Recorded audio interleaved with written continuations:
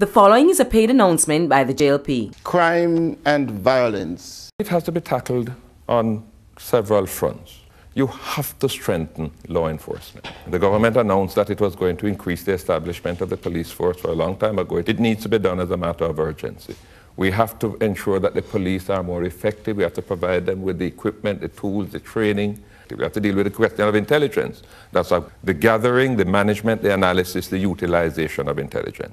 If you did that, you could significantly reduce the crime rate, but you're going to get to a point where it's not going to be possible to bring it down much further until you pursue serious social intervention measures to bring new hope in these communities. Bruce is no fool.